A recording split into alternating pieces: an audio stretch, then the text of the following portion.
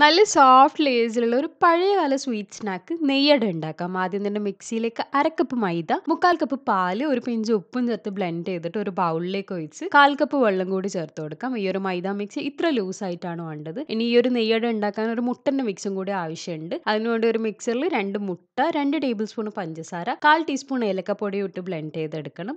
ഇനി ഒരു പാനിൽ ഗീ ഇട്ട് കാഷ്യൂസും കിസ്മിസും പൊരിച്ച് മാറ്റി വെക്കാം എന്നിട്ട് ഒരു സ്റ്റീമറിൽ വെള്ളം നന്നായിട്ട് ചൂടായി വരുമ്പോൾ ഇതുപോലെ ഒരു കേക്ക് ടിന്നോ അല്ലെങ്കിൽ സ്റ്റീൽ പ്ലേറ്റോ അങ്ങനെ എന്തെങ്കിലും ഇറക്കി വെച്ചിട്ട് എല്ലാ ഭാഗത്തും നല്ലപോലെ ഗീ ബ്രഷ് ചെയ്ത് ആദ്യം ഒരു ചെറിയ സ്പൂൺ മൈദ മിക്സ് ഒഴിച്ചു കൊടുക്കാം. നല്ല തിന്നായിട്ടാണ് ഓരോ ലേസും വേണ്ടത്. ഇതിന്റെ മേലായിട്ട് കുറച്ച് കാഷ്യൂസും കിസ്മിസും ഇട്ട് അടച്ചു വെച്ച് രണ്ട് മൂന്ന് സെക്കൻഡ് കുക്ക് ചെയ്തെടുക്കാം. മൈദ ബാറ്റർ പെട്ടെന്ന് കുക്കായി കിട്ടും. ഇനി ഇതിന്റെ മേലായിട്ട് മുട്ടന്റെ മിക്സ് സ്പൂൺ കൊണ്ട് ഒഴിച്ച് എല്ലാ ഭാഗത്തും ആക്കിയെടുക്കണം. ഇതിന്റെ മേലെയും നട്ട്സും കിസ്മിസും ഇട്ട് കൊടുക്കാം. എന്നിട്ട് വീണ്ടും അടച്ചു വെച്ച് മൂന്നാൽ സെക്കൻഡ് കുക്ക് ചെയ്തെടുക്കണം. മുട്ടന്റെ മിക്സും മൈദ ബാറ്റർ കമ്പയർ ചെയ്യുമ്പോൾ കുറച്ചധികം ടൈം എടുക്കും കുക്ക് ആവാൻ. ഇതുപോലെ ഡ്രൈ ആയി വന്നാൽ എല്ലാ ഭാഗത്തും കുറച്ച് നെയ്യ് തടവി കൊടുക്കണം. ഇങ്ങനെ ഓരോ ലെയേഴ്സ് മാറി മാറി ബാറ്ററി തീർന്നവരെ ഒഴിച്ചു കൊടുക്കണം. മുട്ടന്റെ മിക്സ് ഒഴിച്ച് ഡ്രൈ ആവുമ്പോൾ ഗീ ബ്രഷ് ചെയ്യണം. അതുപോലെ ഒരു ലെയർ കുക്കായാൽ മാത്രം അടുത്ത ലെയർ ഒഴിക്കേണ്ടത്. ലാസ്റ്റ് ലെയർ മേലായിട്ട് മൈദ മിക്സ് ഒഴിച്ച് ഫിനിഷ് ചെയ്യുകയും ചെയ്യണം. എന്നിട്ട് ഇതുപോലെ കാഷ്യൂസ് കിസ്മിസ് വെച്ചിട്ട് കുക്ക് ചെയ്തെടുത്താൽ കറക്റ്റ് സ്വീറ്റ്നെസ്സിൽ നല്ല സോഫ്റ്റ് ലെയർഡ് ആയിട്ടുള്ള നെയ്യട റെഡി ആയിട്ടുണ്ട്. കുറച്ച് ചൂടാറിയതിനു ശേഷം കട്ട് ചെയ്ത് സെർവ് ചെയ്താൽ മതി. എല്ലാവരും ട്രൈ ചെയ്ത് നോക്കണം. Anyway thank you so much for watching will be back soon with another video